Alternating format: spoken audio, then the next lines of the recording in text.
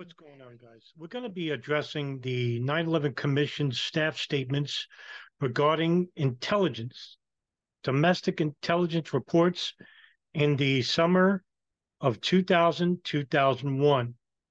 And what you'll see in the next 30 minutes is a slew of information that was not acted upon. Also, was a lot of information from the intelligence services, namely the NSA CIA, that was withheld from the FBI and as well as the federal government. And you, what I'll do is I'm going to fill in the blanks because even the 9 11 Commission states that there was an overwhelming amount of information regarding these key period of 2000 2001 whereas in the same commission you had CIA officials that were basically saying, you know, we we, we didn't have enough information. So you, you could, you know, all these people in the truth movement that say, oh, the 9 11 Commission is lying and stuff like that. Well, that's not necessarily the case all the time. So let's get right to it. This is going to be Philip Zelikow, the director, and Chris Kojm, and uh, two others. So here we go. We have built upon the substantial work carried out by the joint inquiry of the House and Senate Intelligence Committees. We've obtained excellent cooperation from the CIA, the FBI, and the Office of Inspector General of the Department of Justice. They made significant material available for the preparation of this statement. I'd like to draw you now to page two of the statement, beginning with the spring of 2001, and turn the floor over to Chris Kojm, my deputy. In spring 2001, the level of reporting on terrorist threats and planned attacks began to increase dramatically, representing the most significant spike in activity since the millennium. At the end of March, the intelligence community disseminated a terrorist threat advisory indicating there was a heightened threat of Sunni extremist terrorist attacks against U.S. facilities, personnel, and other interests in the coming weeks. This is before the release of the Phoenix memo, right? That's the memorandum written by Special Agent Ken Williams out of Phoenix. And where did this information come from? Well, it came from the Millennium Plot, right? You had a heightened alert regarding bin Laden wanting to attack the United States inside the states using aircraft. Now, this is the spring of 2001, where they still had time to give the Federal Aviation Administration and other federal agencies like the INS uh, enough time to implement stricter security measures.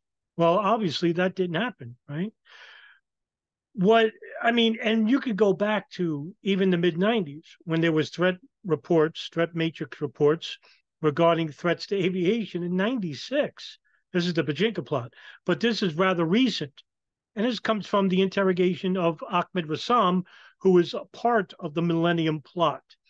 And of course, in the summer of 2001, there were much more reports, including the presidential daily brief of August 6th, bin Laden to sh- determined to strike inside the United States.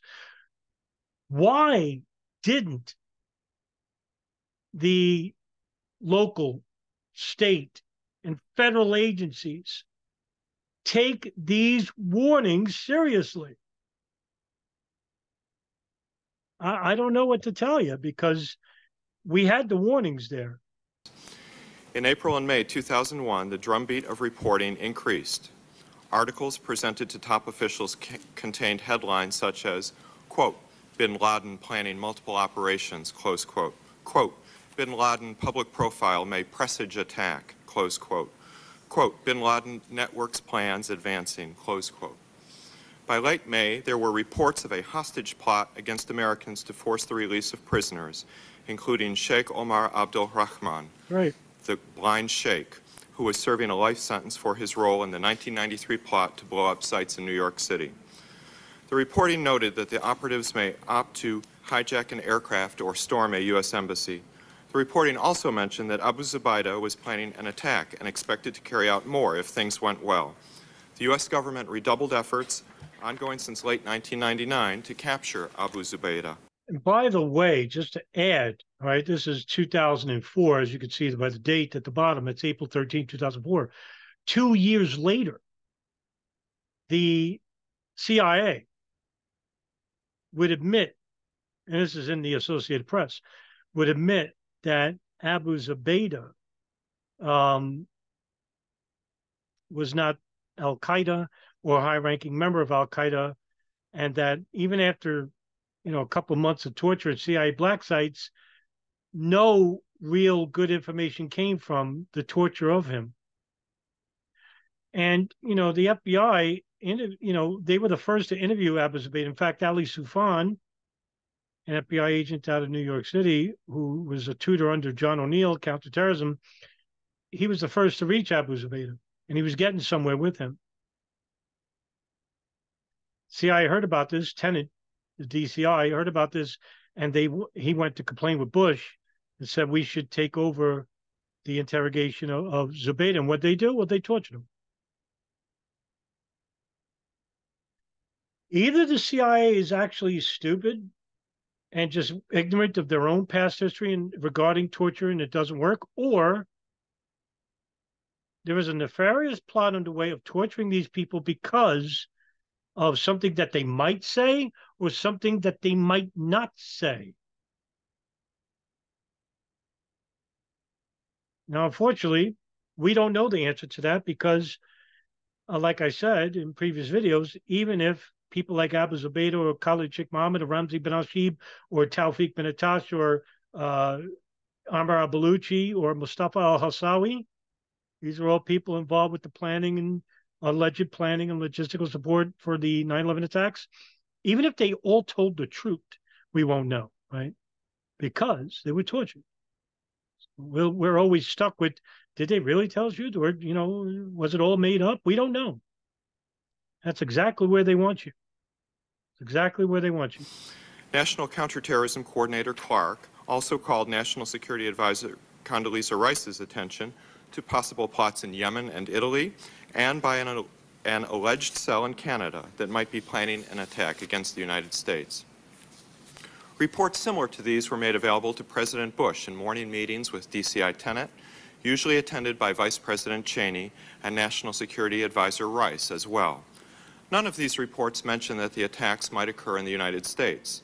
At the end of May, Counterterrorism Center Chief Cofer Black told Rice that the current threat level was a 7 on a scale of 10 as compared to an 8 during the millennium.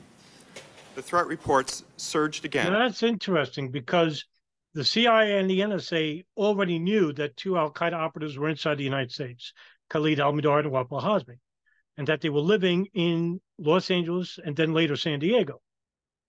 And this information was withheld from the FBI, right? So, and by default, the Department of State.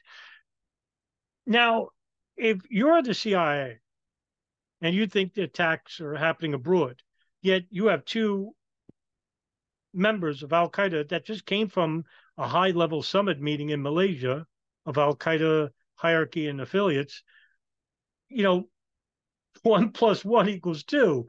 To but to the CIA, it's one plus one equals sixteen, right? Nevertheless, I like I said, either they're just stupid, or something nefarious is afoot. Now, it's very well that the, you know the theory is true that they were trying to turn these two guys to get uh, moles, spies inside Al Qaeda that was the goal in 99 when George Tenet told Cofer Black, the, the director of this counterterrorism center, to come up with a plan, which was nicknamed the plan, real ingenious title, uh, of getting contacts inside Al Qaeda, because at that point they didn't have any. All right. So it very well could be the case. But they involved the Saudis on their behalf because they don't have Arab linguists. And of course, you know, a CIA officer, field officer, is not going to really play the part well regarding being a Saudi or Arab fundamentalist. You can get Arab fundamentalists to do that, but you would have to involve Saudi General Intelligence Directorate, the intelligence arm, to become part of this operation. But we have to keep it secret. Well, that's not a theory anymore because with the Candace Trail document, as well as the FBI's Operation Encore files, we know this to be the case. in June and July, reaching an even higher peak of urgency. A terrorist threat advisory in late June indicated that, that there was a high probability of near-term spectacular terrorist attacks resulting in numerous casualties. Headlines from intelligence reports were stark. Quote, bin Laden threats are real, close quote. Quote, bin Laden planning high-profile attacks, close quote. The intelligence reporting consistently described the upcoming attacks as occurring on a catastrophic level, indicating that they would cause the world to be in turmoil, consisting of possible multiple, but not necessarily simultaneous attacks. A late look, this I, I you have to stand in awe, right? The joint inquiry even states that Carl Levin, bless his heart, he read a detailed summary. It took him four minutes to give a timeline of intelligence warnings that were there starting in 96 to 2001 that bin Laden and Al Qaeda, it was no secret. You know, the real conspiracy is that the intelligence services are telling you, oh, we didn't have the information. That's not what they're reading here, right? Congressional officials like Chris Okojim and Carl Levin, they're telling you, hey, this information was a wash. And it comes from the domestic services. Also, in the summer of 2001, where Kojm is actually referring to as well in his statement, foreign intelligence on top of it are telling you Italy, Canada, Germany, France, even Israel and Saudi Arabia. I mean, the, some of these reports are vague, but they're there. Hey, bin Laden's going to attack you. They're inside the country. They want to use planes as weapons.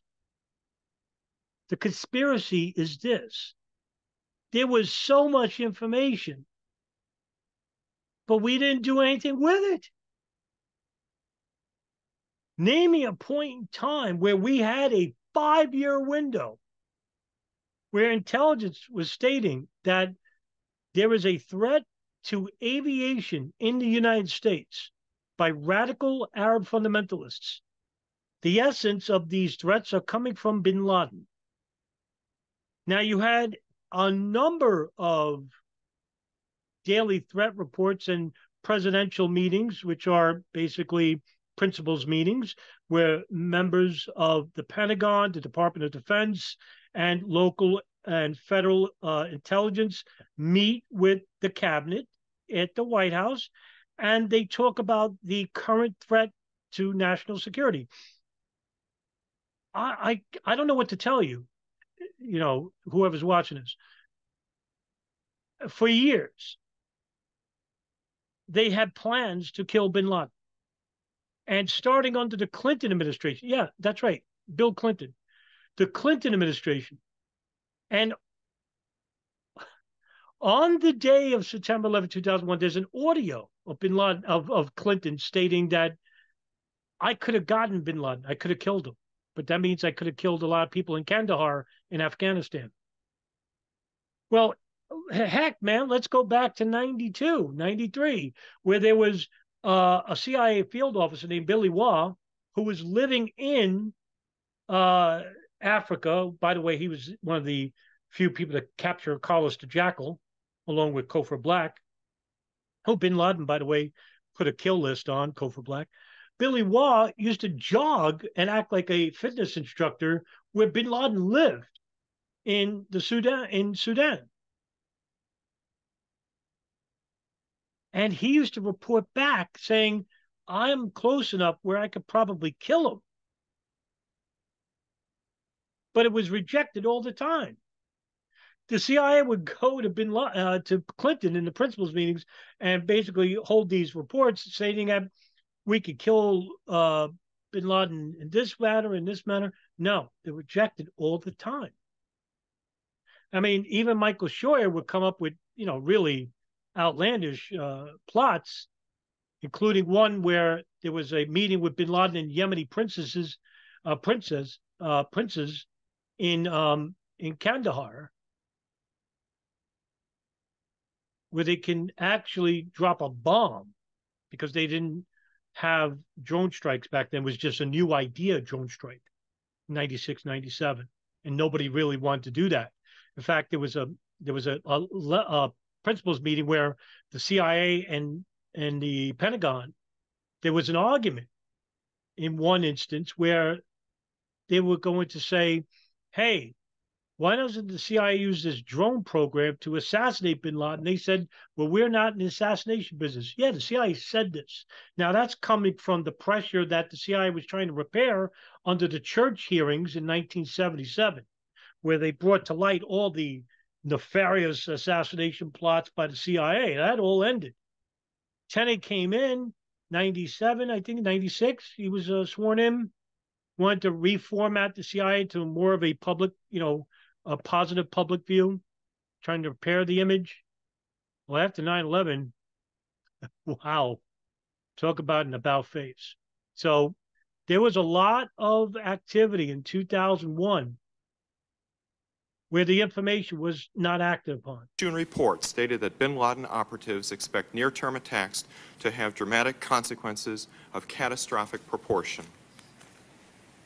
Rice told us Clarke and his counterterrorism and security group were the nerve center in coordinating responses, but that principals were also involved. In addition to his daily meetings with President Bush and weekly meetings to go over other issues with National Security Advisor Rice, Tenet continued his regular meetings with Secretary Powell and Secretary Rumsfeld. The foreign policy principals talked on the phone every day on a variety of subjects, including the threat. The summer threats seemed to be focused on Saudi Arabia Israel, Bahrain, Kuwait, Yemen, and possibly Rome, but the danger could be anywhere, including a possible attack on the G8 summit in Genoa, where air defense measures were taken. Disruption operations were launched involving 20 countries. Several terrorist operatives were detained by foreign governments, possibly disrupting operations in the Gulf and Italy, and perhaps averting attacks against two or three U.S. embassies. U.S. armed forces in at least six countries were placed on higher alert. Units of the Fifth Fleet were redeployed. Embassies were alerted. Vice President Cheney contacted Crown Prince Abdullah to get more Saudi help. DCI Tenet phoned or met with approximately 20 top security officials from other countries. Deputy National Security Advisor Hadley apparently called European counterparts. Clarke worked with senior officials in the Gulf. At Rice's request, on July 5th, the CIA briefed Attorney General John Ashcroft on the al Qaeda threat warning that a significant terrorist attack was imminent and a strike could, could occur at any time. That same day, officials from domestic agencies, including the Federal Aviation Administration, met with Clarke to discuss the current threat. Rice worked directly with Tenet on security issues for the G8 summit. In addition to the individual reports, on July 11th, top officials received a summary recapitulating the mass of al Qaeda related threat reporting on several continents. Tenet told us that in his world, quote, the system was blinking red, close quote. And by late July, it could not have been any worse. Tenet told us. Funny thing is that while all this is going on, the CIA and the NSA were withholding pertinent information. You already know what I'm talking about. Khalid al-Mihdhar Nawaf being inside the United States. They didn't tell nobody. Now, I mean, look, let me let me play another video for you. Okay? Because good lord. All right. Here we have a perfect example. And I mean a perfect example of the current pro- of the problem back in 2000 2001 all right now, this is this is coming from the joint inquiry. Again, you've probably seen this video because I played it before. Now, this is Carl Levin, and he's just watch. Right. This is what I'm talking about. Now, with Chris Kojm, he's telling you that the CIA is meeting with, you know, the National Security Counterterrorism Czar, Richard Clarke. He's meeting with National Security Advisor Condoleezza Rice. There's a threat about bin Laden and stuff. But the most important information the CIA is withholding. Why? Well, let Carl Levin here, um, you know, begin his inquiry. And no, that's not it. You know, here. Just I think we have to know precisely, and perhaps we have to talk to the people other than the FBI agent who is here who confirms what our staff report says to the best of his knowledge. I think this is such an important question that if there's any difference on this from the staff report, we should hear from the CIA. And I would ask our CIA officer who is here to take that request back and if there is a difference that that officer had recollection-wise uh, as to what happened at that meeting, whether or not she did in fact refuse to let the FBI know in June of 2001 why the CIA was tracking these two men. What? Why they didn't say at that time that we knew that these two men Right. had visas to the United States. The FBI still didn't know that. That still wasn't on the watch list. As of June of 2001, now this is 16 months after the CIA knew that these men had visas to come to the United States, had entered the United States. Still, according to our staff report, there's this refusal on the part of the CIA to share this information. Why? And this is critically important information. Oh, it's huge. I, I think that we've got to have accountability Yeah, in this system. And that failure is massive. And if that information should have been shared and should have been shared a lot earlier, and if watch lists should have been entered, and if FBI should have been notified, which it seems to me it's clear all that should have happened, then we've got to know who is responsible for those failures. We if know. We're going to really break down walls, real and imaginary. Yeah. You see, uh, we already know now because it's years later. It's Wilshire, right? He's the deputy chief of Alec Station. Where's he getting his orders from? Richard Blee, the chief of station, who took over in 99 over Michael Scheuer. That's where this is coming from. Now, this withholding of information comes from uh, the director. It has to. And uh, boy, how is this missed? the CIA is partly at fault here, and nobody got in trouble for it. Stunning. He No, felt that President Bush and other officials grasped the urgency of what they were being told. On July 27th, Clarke informed Rice and Hadley that the spike in signals intelligence about a near-term attack had stopped. He urged keeping readiness high during the August vacation period, warning that another report suggested an attack had just been postponed for a few months. On August 3rd, the intelligence community issued a threat advisory warning that the threat of impending Al Qaeda attacks would likely continue indefinitely. The advisory cited threats in the Arabian Peninsula, Jordan, Israel, and Europe, and suggested that Al Qaeda was lying in wait and searching for gaps in security before moving forward with the planned Notice it's all outside the United States, the warnings. It's not inside the United States. Meanwhile, the threat is brewing inside the United States. Attacks. Man, During the spring and summer of 2001, President Bush had occasionally asked his briefers whether any of the threats pointed to the United States. Reflecting on these questions, the CIA decided to write a briefing article summarizing its understanding of this danger. The article, which the President received on August 6th, is attached to this staff statement. bin Laden determined to. Despite the large number of threats received, there were no specifics regarding time, place, method, or target. Right. Disrupt, disruption efforts continued. An Al Qaeda associate from North Africa connected to Abu Zubaydah was arrested in the United Arab Emirates on August 13th. He had apparently been planning an attack against the U.S. Embassy in Paris. CIA analysts who have recently reviewed the threat surge of the summer of 2001 told us they believe it may have been related to a separate stream of events. These threats may have been referring to the 9 11 attack, the planned assassination of Northern Alliance leader Ahmed Shah Massoud, or other operations.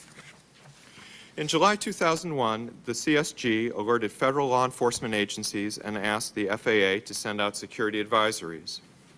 Beginning on July 27th, the FAA issued several security directives to U.S. air carriers prior to September 11th. In addition, the FAA issued a number of general warnings about potential threats, primarily overseas, to civil aviation. None of this is another problem regarding this insistence that there is a, a threat to civil aviation overseas. Now, again, you know, the joint inquiry states that the threat, which was a report coming from the Bojinka plot, was basically coming from the intelligence of the Philippines telling you that there's a threat not overseas, but inside the United States.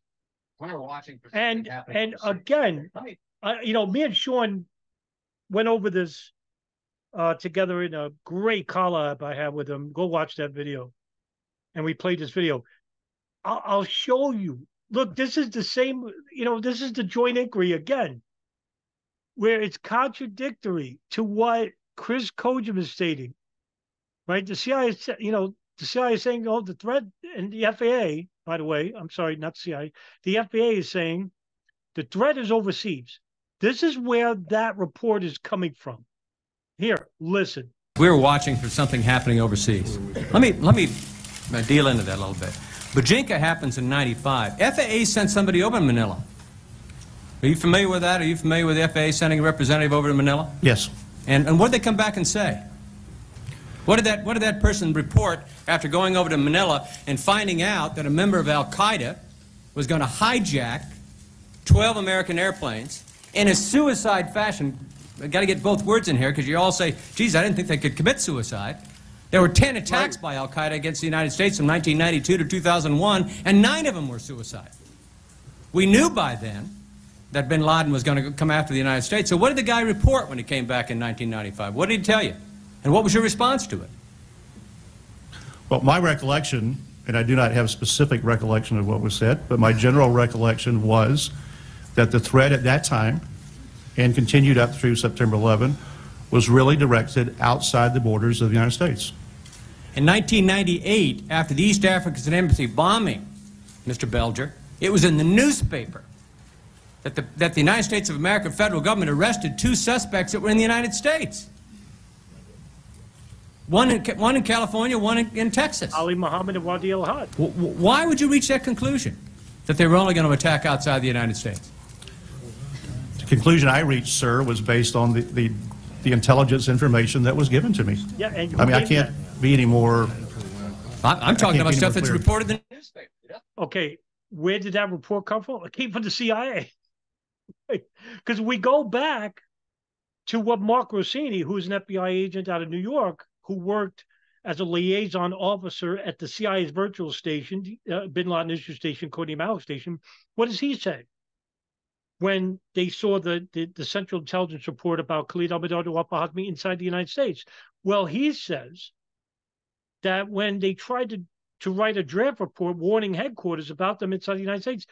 A CIA analyst named Michelle Ann Casey told Mark Rossini not to share that information because we think the next attack is Southeast Asia.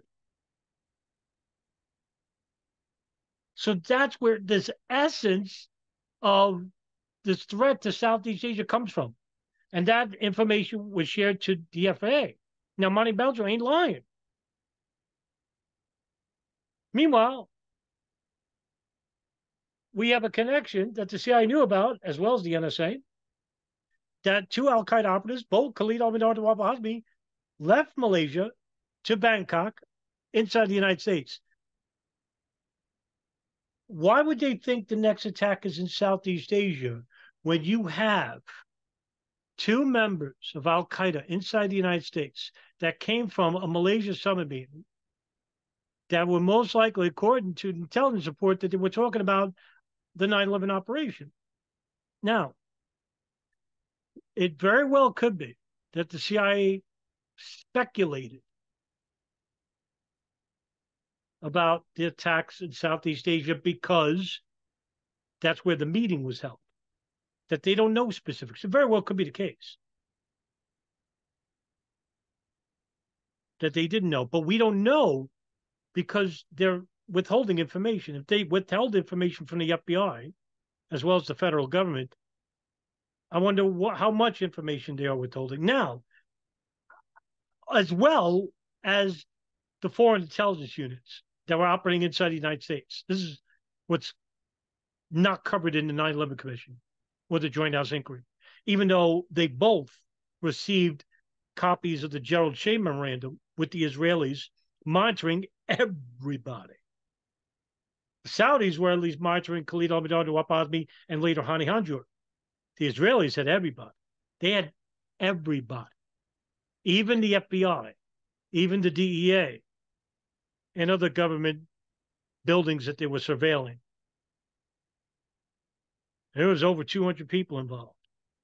And they lived right next door to all the 9 11 hijackers. Hi, 9 11 Truth Movement. That's right. The hijackers you don't believe in, all these people don't exist. These operations don't exist either. Thanks. You're a big help. So, what specifics do they have? They probably have the mother lode. And you can manipulate an operation by knowing the operation beforehand.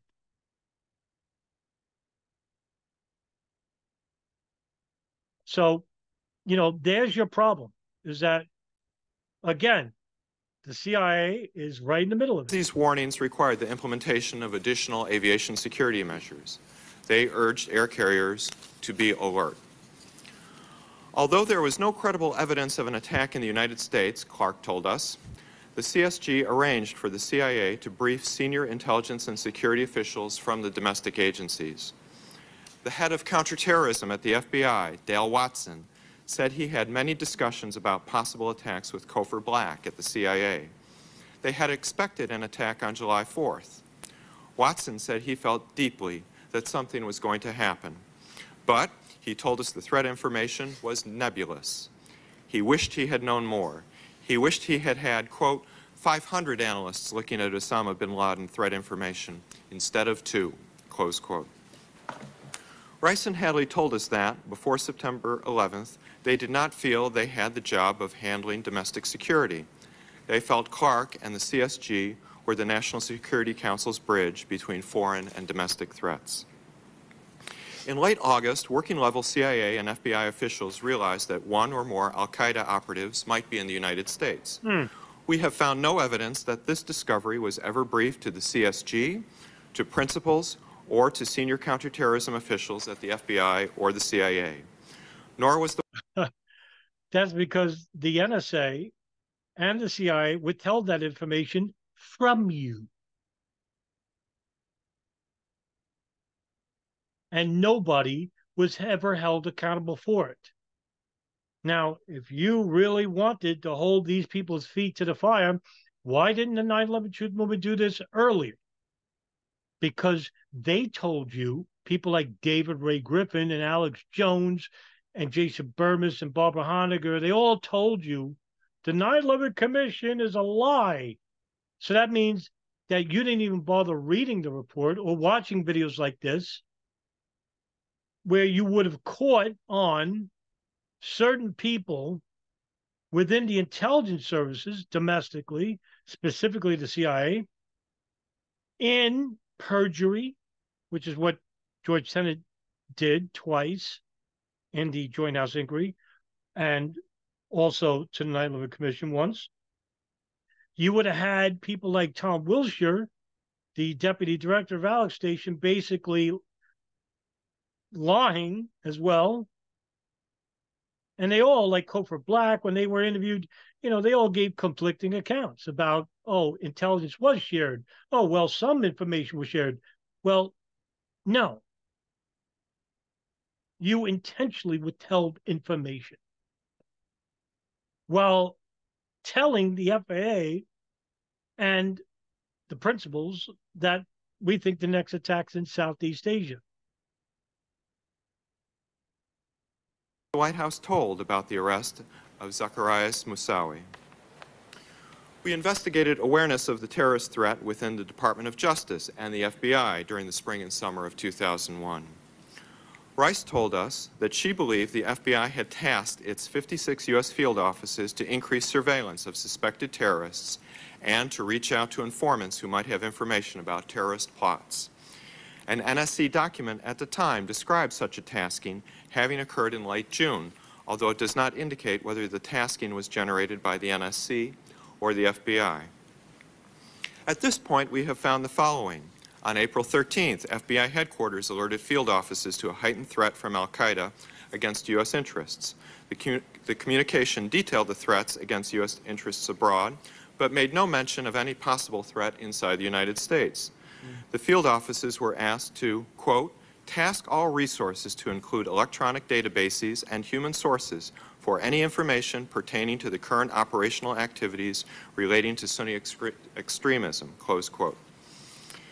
On July 2nd, the FBI Counterterrorism Division sent a message to federal agencies and state and local law enforcement agencies that summarized information regarding threats against U.S. interests from bin Laden.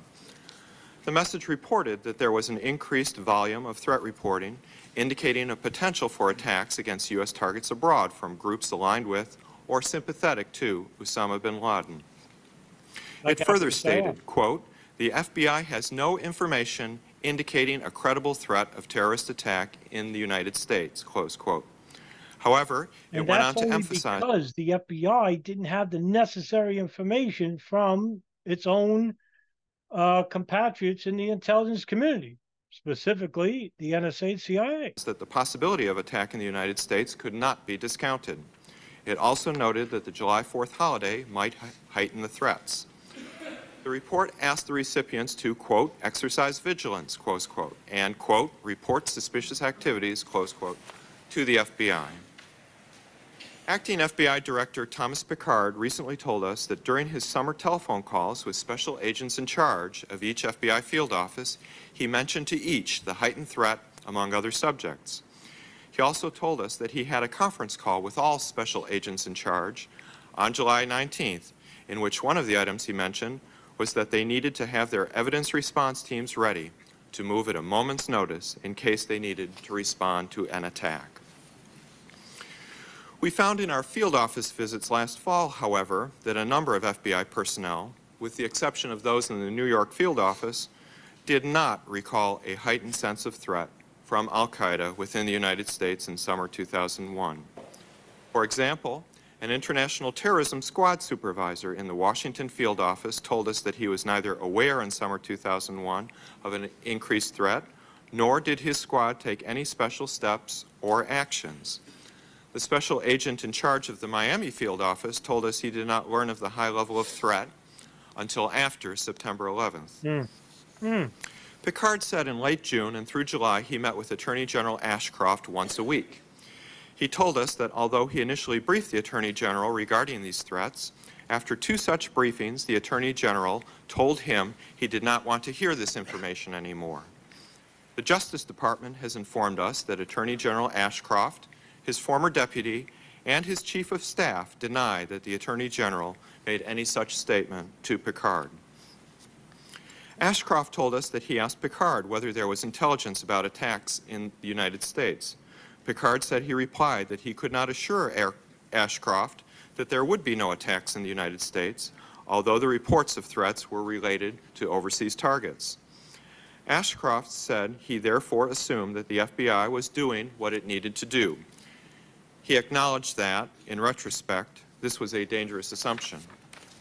Prior to 9 11, neither Ashcroft nor his predecessors received a copy of the President's Daily Brief. After 9 11, Ashcroft began to receive portions of the brief that relate to counterterrorism. It is in this context that we return to the story of Midhar and Hazmi. While top officials in Washington were receiving and reacting to various threat reports, we need to step further down in the bureaucracy to trace a now significant story of how particular Al Qaeda associates were addressed by lower level officials. In staff statement number two, presented at our January hearing, we discussed the complex story of successes and failures in tracking and identifying hijackers Khalid al Midhar, Nawaf al Hazmi, Nawaf's brother Salim al Hazmi, and the Cole bomber Khallad. Those efforts had trailed off in January 2000. No one at CIA headquarters reacted to the March 2000 cable from Bangkok that someone named Nawaf El Hazmi had traveled to the United States. But That's not true. And, you know, it's, this is tiring as fuck.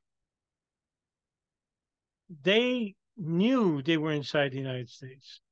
They withheld this information intentionally. I keep saying it time and time again.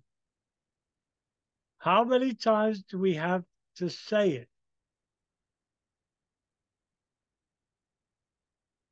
There is a concerted effort in the CIA to withhold information regarding Khalid mm-hmm. al-Mihdhar and Nawaf al-Hazmi inside the United States. Again, let's go back to the joint inquiry, Carl Levin, once again, just to show you, without me telling you, again, there was an intentional withholding of information. This is coming from the CIA's own man, Clark Shannon. That's who Carl Levin is referring to in this video as the analyst. Let's hear it. And here's where I want to pick up with our witnesses. The CIA analyst who attended the New York meeting acknowledged to the Joint Inquiry staff that he had seen the information regarding Al Mihdhar's U.S. visa and Al Hazmi's travel to the U.S., but he stated that he would not share information outside of the, S- of the CIA unless he had authority to do so and unless that was the purpose of the meeting. Oh, Now, again, June 11th, New York. the second meeting now. Now we've got the FBI asking the CIA, would you tell us why you're following these two guys? What? And according to the CIA analyst, to our staff, that information was denied because no authority Oh, to do so, unless that's the purpose of the meeting. So I, okay. I, I don't need to go further with you. This is the CIA's own words. And, you know, Carl Levin would ask George Tenet about this issue. And he says that, you know, hey, we interviewed your man and he basically told us one thing and you're saying another. And George is saying, yeah. So he told you and he told us something different. That's what Carl Levin said. And George Tenet's like tongue tied. Well, you know, because the CIA is withholding from everybody about an illegal operation inside the United States, along with Saudi intelligence, and monitoring Khalid and Nawaf Hazmi. But everybody who's watched my video knows this. There were three episodes in 2001 when the CIA and or the FBI had apparent opportunities to refocus on the significance of Hazmi and Midhar and reinvigorate the search for them. As in the 2000 story, the details are complex. We turn to the first episode, which is in January 2001, the identification of Khallad. Almost one year after the original trail had been lost in Bangkok, the January 2000 rendezvous of suspected terrorists in Kuala Lumpur resurfaced. The FBI and the CIA learned from a conspirator in the USS Cole attack in Yemen that a person he knew as Khallad had helped direct the Cole bombing. One of the members of the FBI's investigative team in Yemen realized he had previously heard of Khallad from a joint FBI CIA source who had said Khallad was close to bin Laden. Khallad was also linked to the East Africa bombings in 1998. The FBI agent obtained from a foreign government a photo of the person believed to have directed the Cole bombing. The joint source confirmed the man in that photograph was the same Khallad he had described. In December 2000, based on some analysis of information associated with Khalid al-Midhar, the CIA's bin Laden station speculated that Khalid and Khalid al-Midhar might be one and the same. So, the CIA asked that a Kuala Lumpur surveillance photo of Midhar be shown to the joint source, who had already identified an official photograph of Khalid. Well, wait a minute. Hold, boy, oh boy. The CIA had a had a contact inside the NSA's operation of the Yemen hub, right? Now, the analyst is saying that the NSA heard a phone call in December of '99 between Khalid and Khalid. Ladies and gentlemen, I tell you this. How did the CIA say that Khalid and Khalid were the same meeting? Were they fucking talking to each other? They're lying their fucking ass off. Lying themselves during the commission. And the truth movement will tell you did you know a third building fell?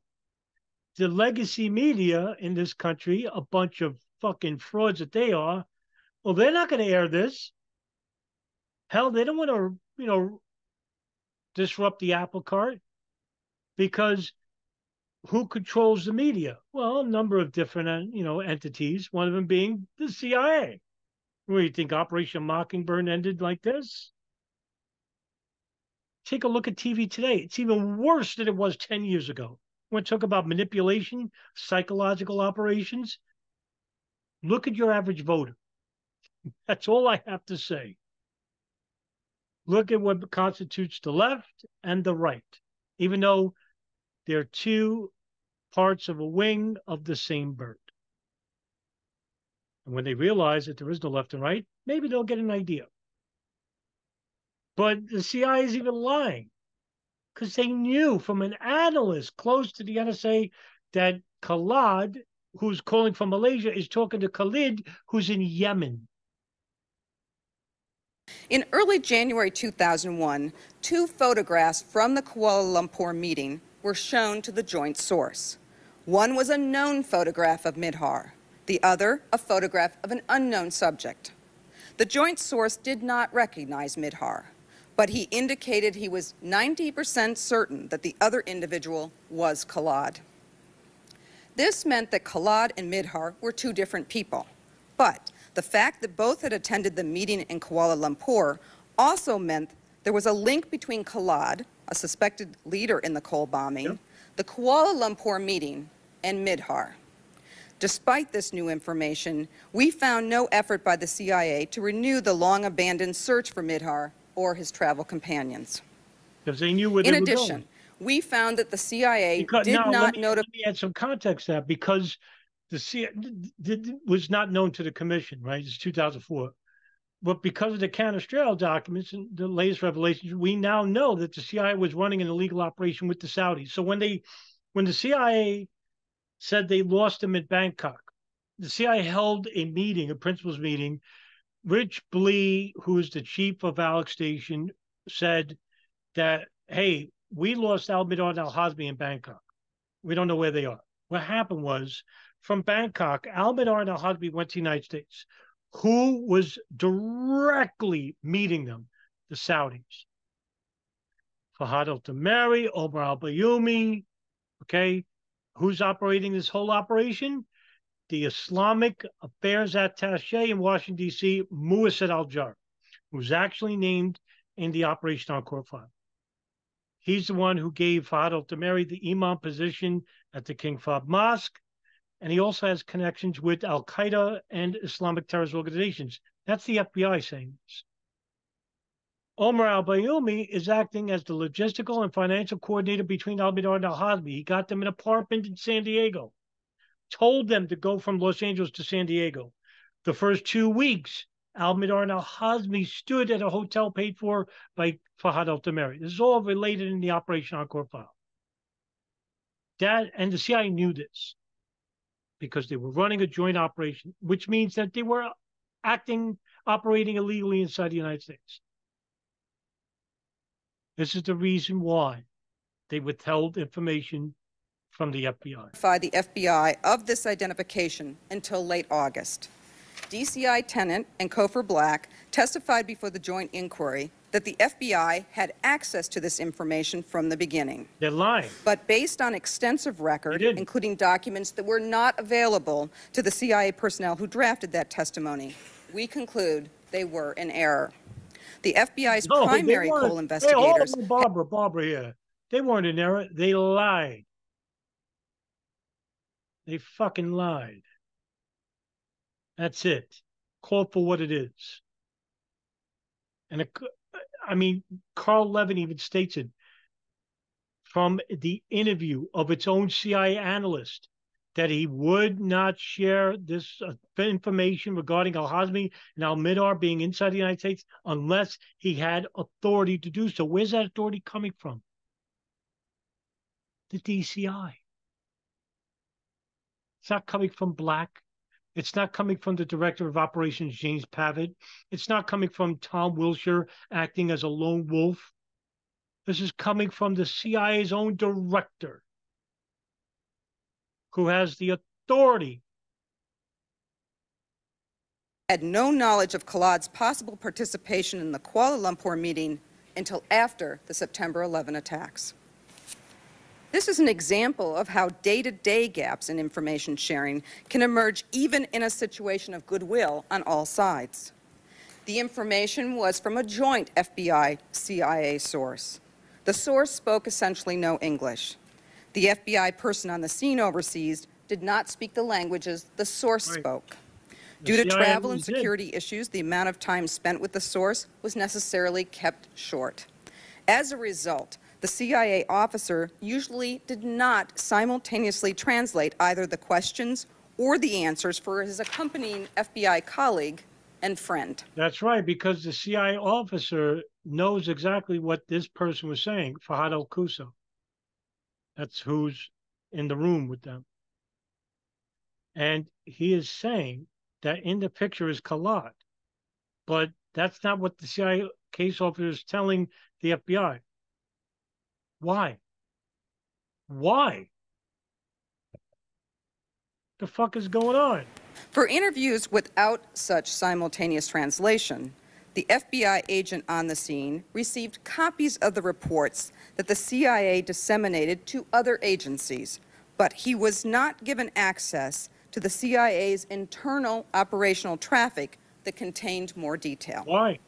The information regarding the January 2001 identification of Khallad was only reported in operational traffic, to which the relevant FBI investigators did not have access. The CIA officer does not recall this particular identification not. and thus cannot say why it was not shared with his FBI colleague. But he may have misunderstood the possible significance of the No, new no. identification. Midhar left the United States in June 2000. It is possible that if in January 2001 agencies had resumed their search for him or placed him on the tip-off watch list, they might have found him before or at the time Midhar applied for a new visa in June 2001. Right. Or they might have been alerted to him when he returned to the United States the following month. We cannot know. The second opportunity is in the spring of 2001, looking again at Kuala Lumpur. By mid-May 2001, as the threat reports were surging again, a CIA official detailed to the International Terrorism Operations Section at the FBI wondered where the attacks might occur. We will call him John. John recalled the Kuala Lumpur travel of Midhar and his associates around the millennium. By the way, the he same searched the Tom, CIA the same Tom Wilshire who told Michael Anne Casey to tell the FBI analysts on as acting as liaison officers at Alec Station, Doug Miller and Mark Rossini, to not to not share this information with FBI headquarters regarding Al Mihdhar and Hazmi having dual U.S. visas and being inside the United States. Now he's working as a liaison officer for the USS Cole bombing investigation at the FBI. You couldn't, you couldn't make this up. Now, is he really there for that, or is he trying to act as a fish? Right? He's trying to hear chatter whether the FBI knows about Al and Al Mihdhar inside the United States.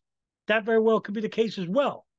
Well, he's working USS Cole case because the USS Cole case has the, the, the, the three men that were at the Malaysia summit meeting that is very that is very much uh, on the FBI's radar.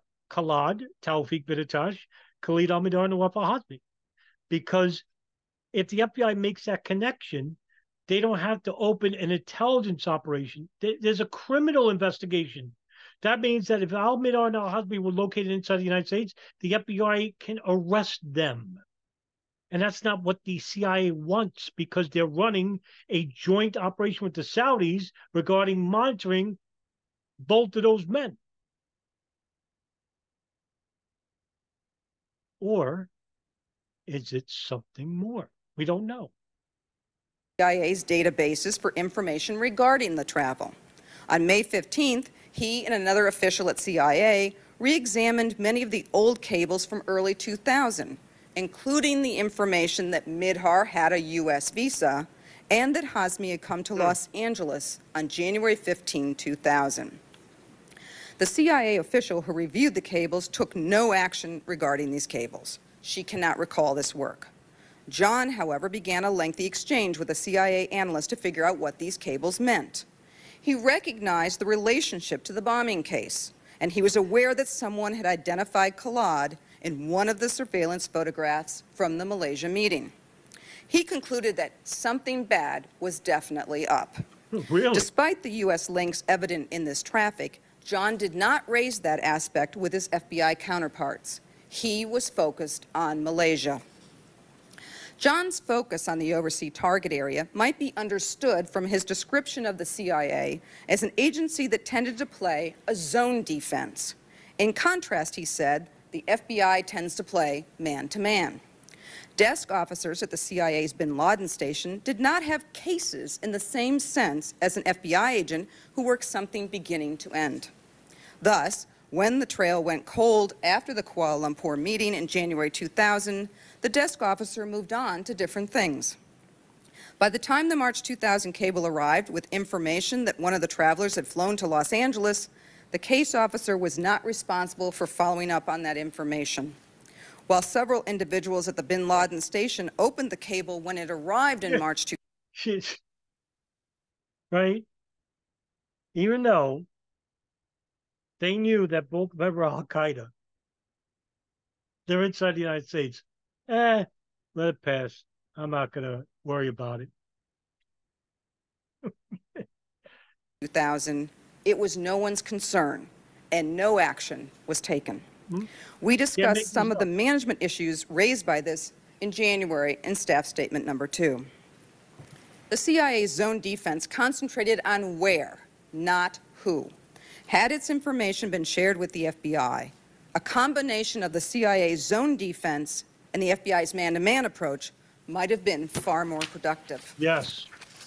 The third opportunity is in August 2001, when the search for Hazmi and Midhar begins and fails. During the summer of 2001, John asked an FBI official detailed to the CIA to review all of the Kuala Lumpur materials Walker one more time. We We will call her Mary. He Walker asked her to do the research in her free time. She began her work on July 24th. That day, she found the cable reporting that Midhar had a visa to the United States. A week later, she found the cable reporting that Midhar's visa application, what was later discovered to be his first application, listed New York as his destination. On August 21st, she they went to located the March 2000 cable that noted with interest that Hazmi had flown to Los Angeles in January 2000. She grasped the significance of this information.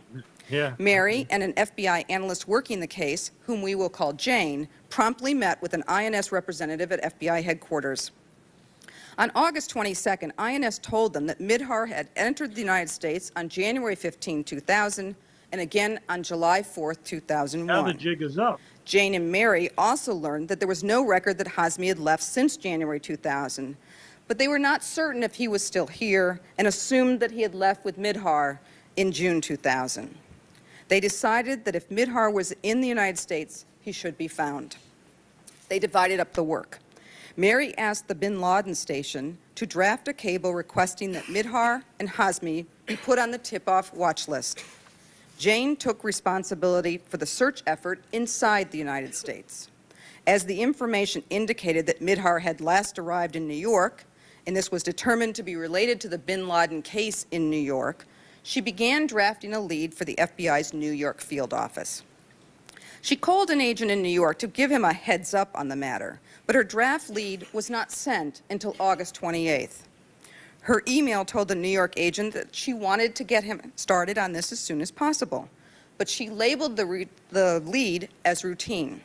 A routine designation criminal. informs the receiving office it has 30 days to respond to the lead. Right. The agent who received the lead forwarded it to a squad supervisor. That same day, the supervisor forwarded the lead to an intelligence agent to open an intelligence case.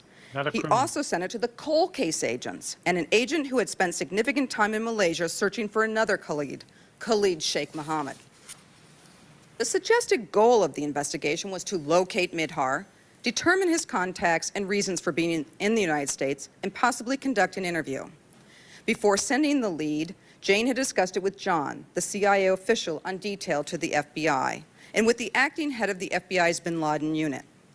The discussion apparently was limited to whether the search should be classified as an intelligence investigation or as a criminal one. A legally important distinction for reasons we explained earlier today in staff statement number nine. And how Neither of could these this individuals- have been a criminal investigation if the CIA basically told the FBI that we have information that Khalid al-Mihdhar and Nawaf Hazmi were seen with Khalid, the alleged mastermind of the Cole bombing, and that they were not only seen together, but they were seen together at a high-level Al-Qaeda meeting, would have been a criminal investigation. When? January of 2000 that would have ended 9 11 or part of it. At least part of it. apparently disagreed with the analyst's proposed plan. No one apparently felt they needed to inform higher levels of management in either the FBI or the CIA about the case.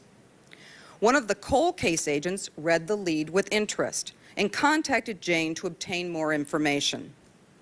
Jane took the position, however, that because the agent was a designated criminal agent, the wall kept him from participating in any search for Mihdhar. In fact, she felt he had to destroy his copy of the lead because it contained information she believed could not be shared with any criminal agents. The joint inquiry covered the details of their heated exchanges, and we will not repeat them here. The result was that criminal agents who were knowledgeable about the Cole and experienced with criminal investigative techniques, including finding suspects and possible criminal charges, were excluded from the search. Many witnesses have suggested that even if Mihdhar had been found, there was nothing the agents could have done except follow him onto the planes. We believe this is incorrect. Both Hazmi and Mihdhar could have been held for various immigration violations or as material witnesses in the Cole bombing case. Investigation or interrogation of these individuals and their travel and financial activities also may have yielded evidence of connections to other participants in the 9/11 plot. Right. In any case, the opportunity did not arise. Notably, the lead did not draw any connections between the threat reporting that had been coming in for months and the presence of two possible Al Qaeda operatives in the United States. Moreover, there is no evidence that the issue was substantively discussed at any level above a deputy chief of a section within the counterterrorism division at FBI headquarters. The search was assigned to one FBI agent for whom this was his very first counterterrorism lead. By the terms of the lead, he was given 30 days to open an intelligence case and make some unspecified efforts to locate Mihdhar. He started the process a week later. He checked local New York indices for criminal record and driver's license information and checked the hotel listed on Mihdhar's U.S. entry form. Now, On September where- 11, the now, agent Look, it, this is where if the CIA put Khalid al-Mihdhar and Nawaf Hazmi on the tip-off database, that this agent would have found them. Where they were, you know, his history, how he got in the United States. And granted, you know, we're talking about less than two weeks before the attacks. At least it would have been something. Again, another failure on the CIA. sent a lead to Los Angeles based on the fact that Midhart had initially arrived in Los Angeles in January 2000. Time had run out on the search. We want to briefly mention two other incidents in the summer of 2001. The first, the Phoenix Memo. The Phoenix Memo was investigated at length by the Joint Inquiry. We recap it briefly in the statement that's provided to you. I just want to mention now, as its author told us, the Phoenix Memo was not an alert about suicide pilots. His worry was more about a Pan Am 103 scenario in which explosives were placed on an aircraft. The memo's references to aviation training were broad, including electronics and aircraft maintenance. And lastly, Moussaoui. On August 15, 2001, the Minneapolis FBI field office initiated an intelligence investigation on Zacarias Moussaoui. He had entered the country on February 23, 2001, and began flight lessons at Airman Flight School in Oklahoma City. He began flight training at the Pan American Flight Training School in Minneapolis on August 13th. Moussaoui had none of the usual qualifications for flight training on Pan Am's Boeing 747 flight simulators. Contrary to popular belief, Moussaoui did not say he was not interested in learning how to take off or land. Instead, mm. he stood out because, with little knowledge of flying, he wanted to learn or take off and land a Boeing 747. The FBI agent who handled the case in conjunction with the INS representative on the Minneapolis Joint Terrorism Task Force suspected Moussaoui of wanting to hijack planes. Because Moussaoui was a French national who had overstayed his visa, he was detained by the INS. The FBI agent sent a summary of his investigation to FBI headquarters on August 18. In his message, he requested assistance from the FBI field office in Oklahoma City and from the FBI legal attache in Paris. Each of these offices responded quickly. By August 24th, the Minneapolis agent had also contacted a detailee from the FBI and a CIA analyst at the Counterterrorist Center about the case. DCI Tenet was briefed about the Moussaoui case. He told us no connection to al-Qaeda was apparent to him before 9-11. Moussaoui had lived in London, so the Minneapolis agent also requested assistance from the legal attaché in London. The legal attaché promptly prepared a written request to the British government for information concerning Moussaoui and hand-delivered the request on August 21st. He informed the British of developments in the case on September 4th. The case, although handled expeditiously at the American end, was not handled by the British as a priority amid a large number of other terrorist-related inquiries. On September 11th, after the attacks, the legal attaché renewed his request for information. After 9-11, the British government, in response to U.S. requests, supplied some basic biographical information about Moussaoui. The British government has informed us that it also tasked intelligence collection facilities for information potentially relating to Moussaoui. On September 13th, the British received new, sensitive intelligence that Moussaoui had attended an al-Qaeda training camp in Afghanistan. And by the way, what training camp was that? Khalden. Same training camp where Ahmed Ressam was at. Now, Moussaoui had connections to Islamic fundamentalists in France one such individual named Abu Hamza, who has a hook for a hand. He's currently doing life in the United States prison. I don't know where he is now, but um, that was enough for a FISA warrant to be approved. Now, there was some argument between Minneapolis FBI headquarters and the FISA courts because the FISA officers in Minneapolis had an argument with Harry Samit, the agent who arrested Moussaoui, about the legal definitions outlined in the FISA warrant. Needless to say that they couldn't look at Moussaoui's laptop or his possessions in his hotel room. Why? Because he's not an American citizen. And if he was an American citizen, we would just need a warrant, right, by a court. But because he's a foreign national, we need to show the connection between Moussaoui and radical fundamentalism. And as Barbara Grewe says here, that that information was shared by British intelligence, which got information from the French.